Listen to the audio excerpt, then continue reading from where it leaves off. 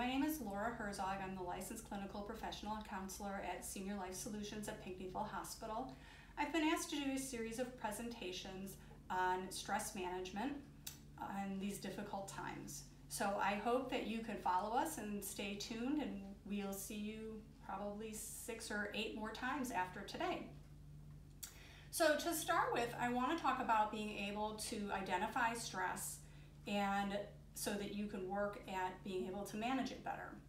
Now, stress is a reaction that we all have to internal or external factors in life that create strain or tension. And stress affects everybody. We all just happen to cope differently with it.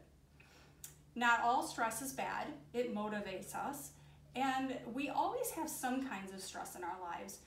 Now, stress can be routine, like the stress we have day to day with managing kids and work, it can be acute, like the stress that we're having right now with the COVID 19 quarantine.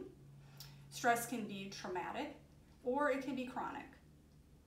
Now, I want you to keep in mind also that stress can be either positive or negative. We don't always think of stress as being positive, um, but if you think about, I don't know, the first time you had a new baby and you brought it home, having that little life is wonderful and joyful for most people, but it's really stressful to have a brand new little baby. Now, it is really important to understand and recognize when we're feeling stressed and identify the causes in order to help manage it better and manage it in a healthy way. Because long-term stress is harmful to both our physical and our mental health. Now, we recognize when we're feeling stress by paying attention to how we feel in our bodies physically, to paying attention and being attuned to our emotional states, and to having a realistic understanding or being able to reflect on our behavior. Now, the common signs of stress for our physical body would be rapid breathing, headaches, fatigue, restlessness, sleep problems, sweating, muscle tension or teeth grinding, uh, feeling sick to the stomach or butterflies, feeling dizzy, GI complaints like constipation or diarrhea, or changes in appetite. Our emotional symptoms to stress can be irritability, sadness, fearing failure, a dread of the future, loss of interest in usual activities, loneliness, loss of sense of humor, or fearfulness. Behavioral reactions to stress can be difficulty making decisions, poor concentration.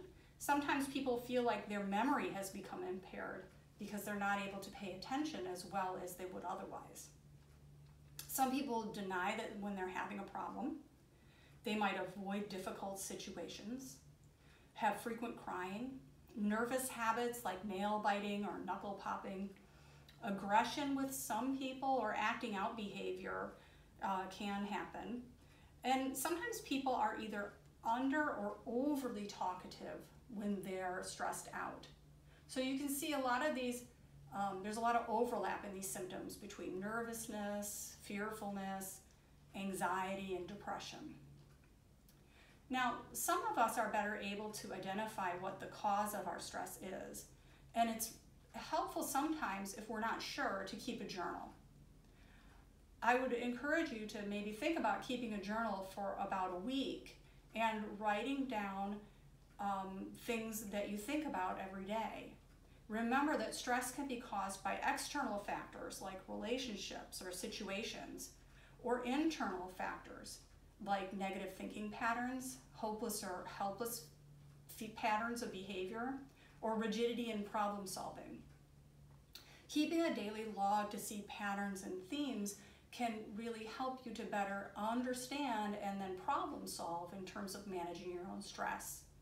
You might want to write down what stressed you out that day and how did you feel both in your body physically and in your emotional state.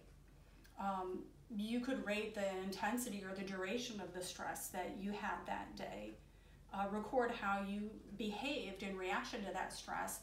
And also, it's important to write down what you think helped because that is going to give you a clue to where your strengths are when it comes to problem solving. Well, thanks so much for joining us for session one on stress management. We hope to see you soon for the following sessions on how to better manage your stress.